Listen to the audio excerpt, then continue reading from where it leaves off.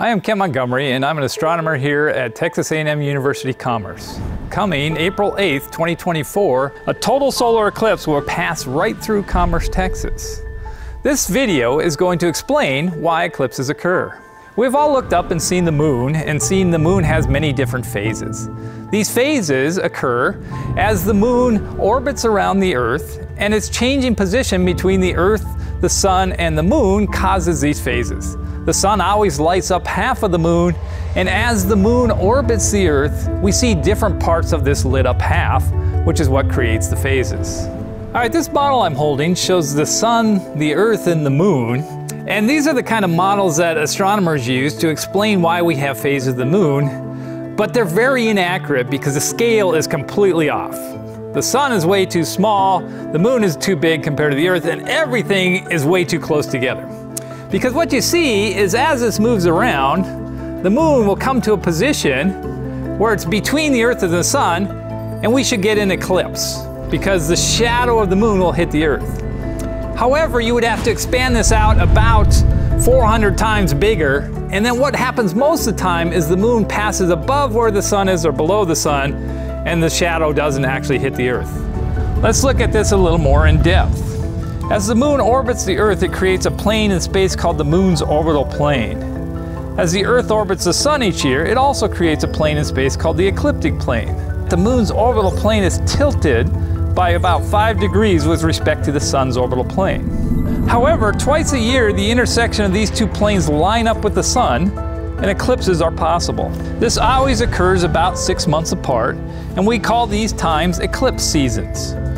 During eclipse seasons, when the moon is between the sun and the earth, or new phase, we will get a solar eclipse.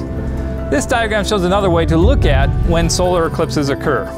The sun and moon have to be in the same place in our sky at the same time for an eclipse to occur. One of the things that makes it even more complicated is that the line created by the intersection of these two orbital planes has its own rotation period of 18.6 years.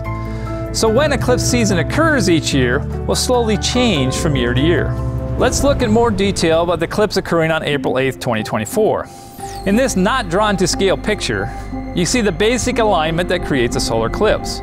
One of the very lucky things is that from the Earth, both the moon and the sun are nearly exactly the same size in our sky, about a half a degree across. Even though the sun's circular disk is 400 times bigger than the moon, it's also almost exactly 400 times further away. It is this amazing coincidence that causes us to have such spectacular solar eclipses. To see the total solar eclipse, you must be directly in the path of the moon's shadow on the Earth. This is called the umbral shadow. This path is around 100 miles wide typically, but varies depending on the distances to the moon and the sun at the time of the eclipse. This NASA diagram for the April 2024 eclipse shows the path of the moon's shadow as it will move across the surface of the Earth. The eclipse starts out in the Pacific Ocean and will cross over North America and will end in the Atlantic Ocean. To see the total solar eclipse, you must be in the blue path with the circles. For Commerce, Texas, the eclipse will begin at 12:26 p.m. on Monday, the 8th of April. The exciting part is totality, which begins at 1:42:43 p.m. and will end 4 minutes and 13 seconds later. That is the part you don't want to miss. To see the eclipse, we must also have cloud-free skies that day. Looking at weather data covering many years, this chart shows the predictions for if the sky will be clear that day. You can see Dallas about a quarter of the way into the chart, and if you look across, you'll see it is at about 0.55 cloud fraction. This means there is about a 50% chance of clear sky that day from our location. Notice it gets worse as you head further east. The eclipse path crossing over the United States does not occur very frequently. This diagram shows the path of all total solar eclipses that will cross North America from 2001 to 2050. So if you miss this one, you will have to wait until August 12, 2045 to catch the next one crossing the United States. Thank you for watching, and here's hoping for clear skies.